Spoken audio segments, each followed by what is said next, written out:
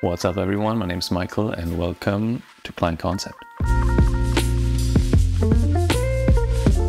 So as you see, there's a big bike suitcase behind me. So today we're going to be documenting how to actually pack the bike um, into a suitcase so that it doesn't break on the way.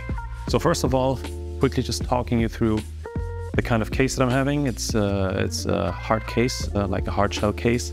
Before I had an, uh, an Evoc I think it's called Evoc, that company.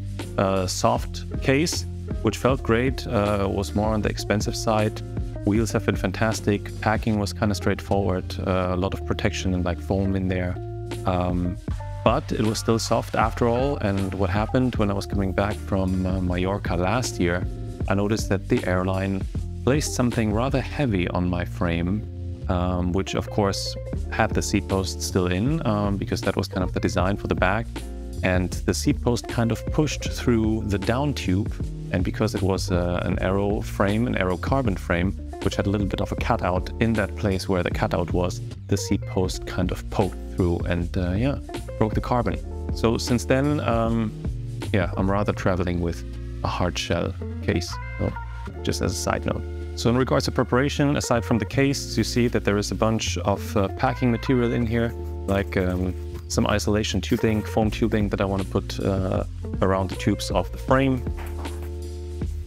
There's a bunch of uh, bubble wrap, which I was using um, last year as well.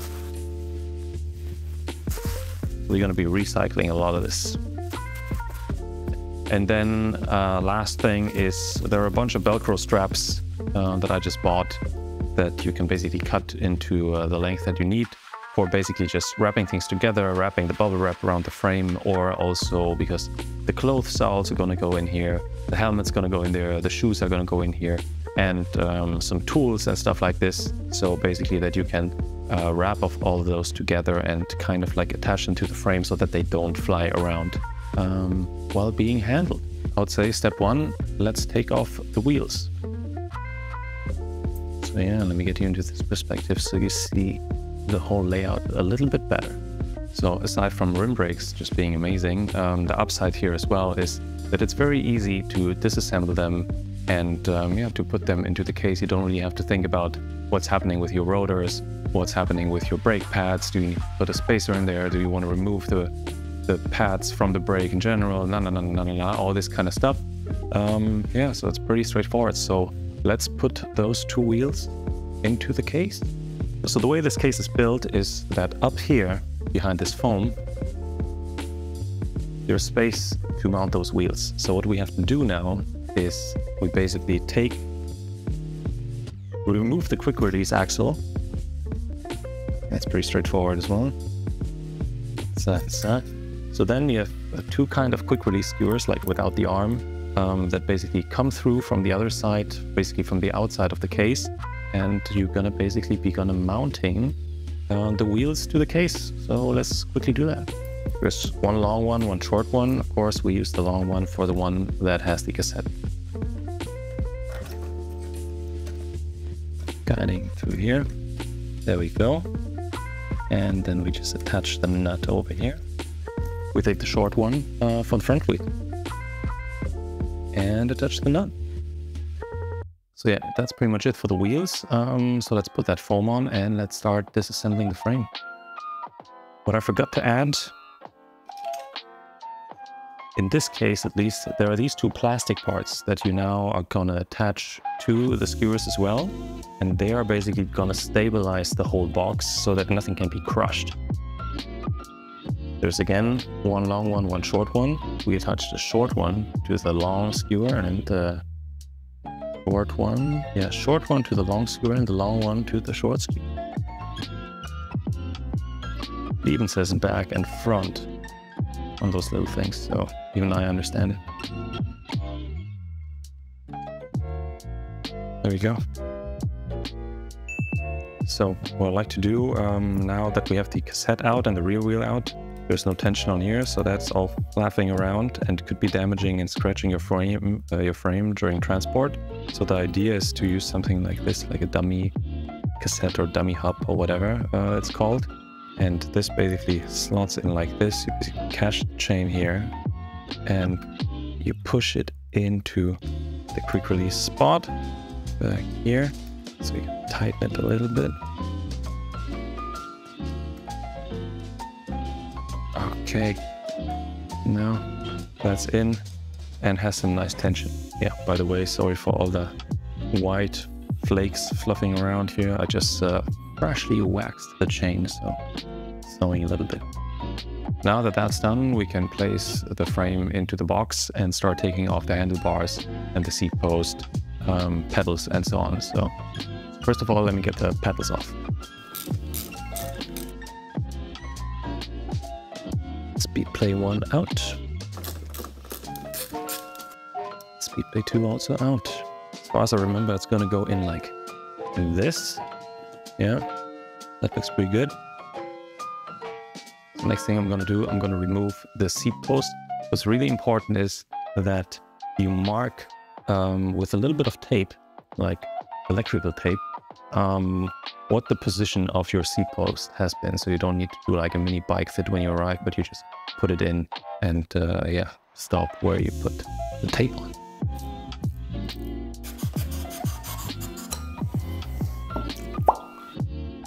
So as you see, now what we have to do is we need to dismount the handlebars so we can place them somewhere where there's space. And then second of all, we're gonna loosen the stem bolts so we can basically push the stem rather inwards.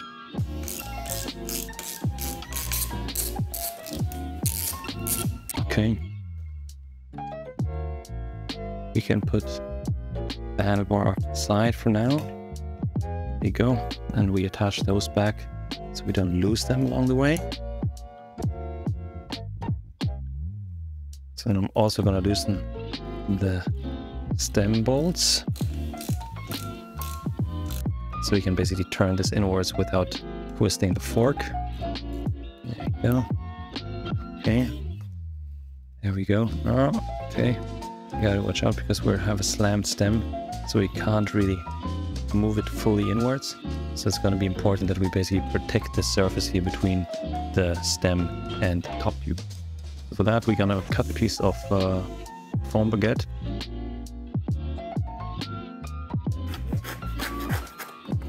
Slice of that and put the frame here. So nothing, nothing can really happen. To make sure that this isn't going somewhere during transport, um, I'll just quickly tape it with some electrical tape, my favorite.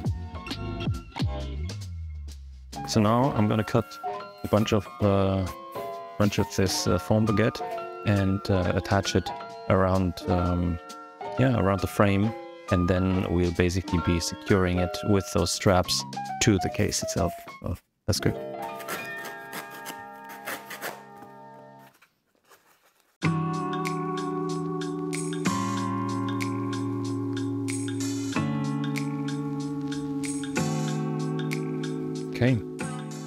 So yeah, don't get frustrated. It is a little bit like a jigsaw puzzle, and um, yeah, I think even I noticed that um, it would be smarter to flip the bike around uh, the other way. So let's do that and see if it's gonna make things any better.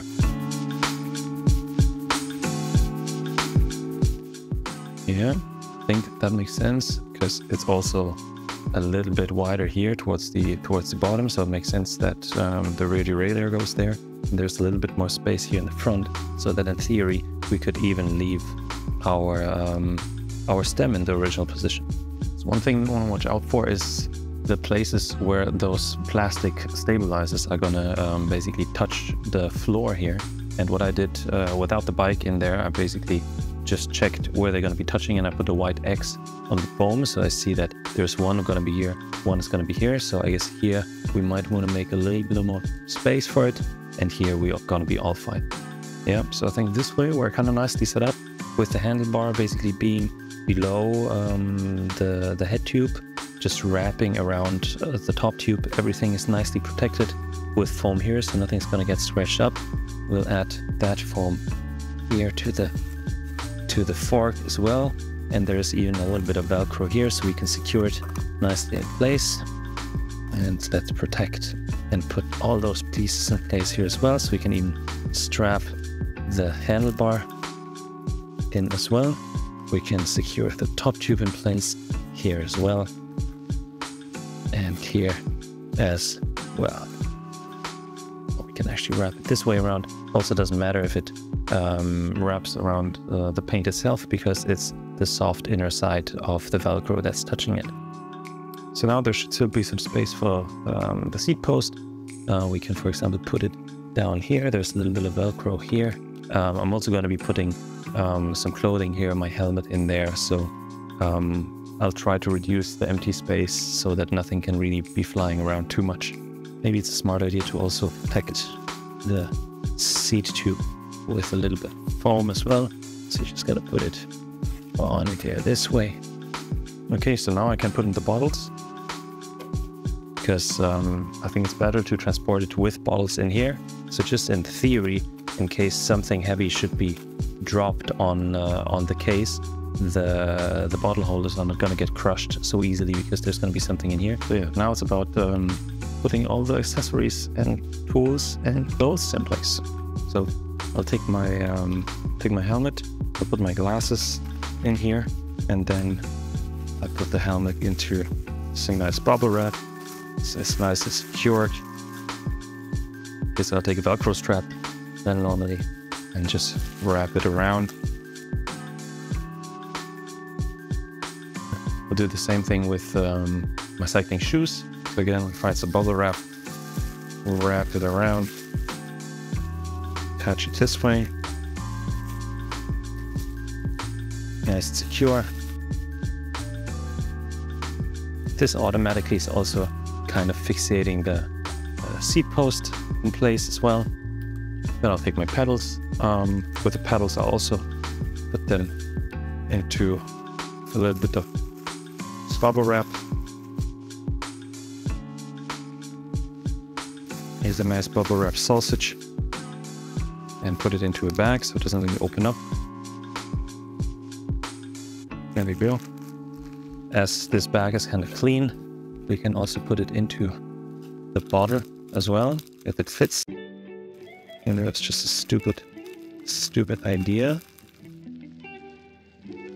Not so stupid after all, huh? Nice. Got the got the pedals in here. Then it's going to be essential that you take all the tools that you need to assemble the bike. Everything that you needed now to disassemble it, that you take this with you as well.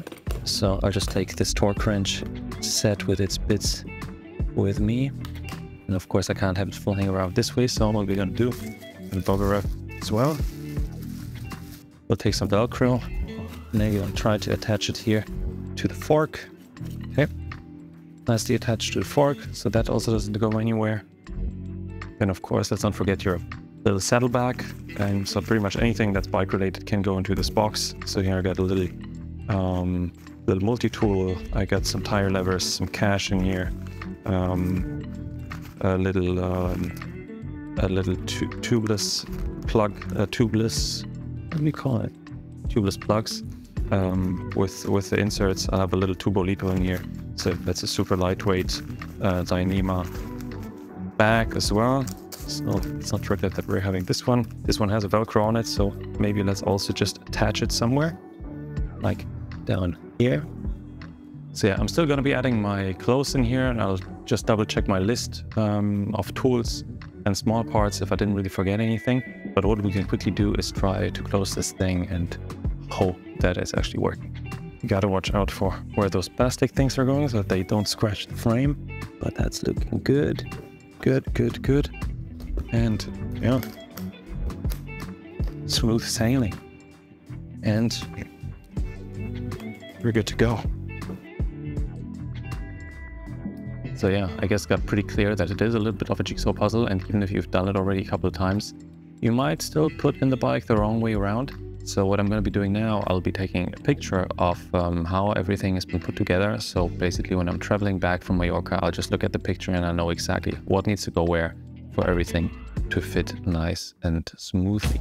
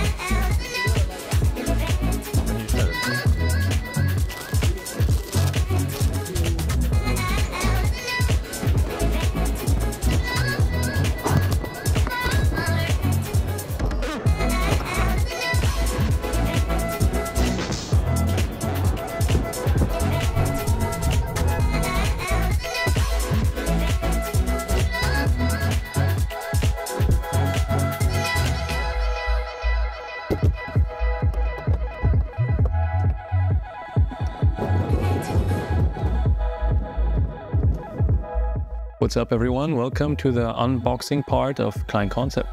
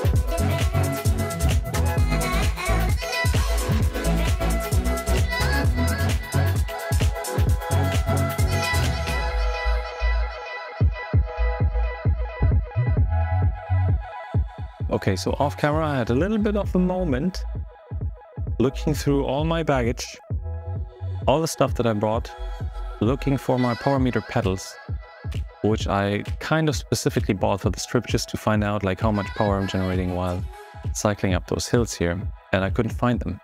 But if you paid attention to my video how I'm packing my bike, you would of course know that my power meter pedals are in my bottle, which I totally forgot. First one, second one. Bottle is nice and clean because everything was in a fresh bag. Beautiful. Put this in here. Okay. And this one.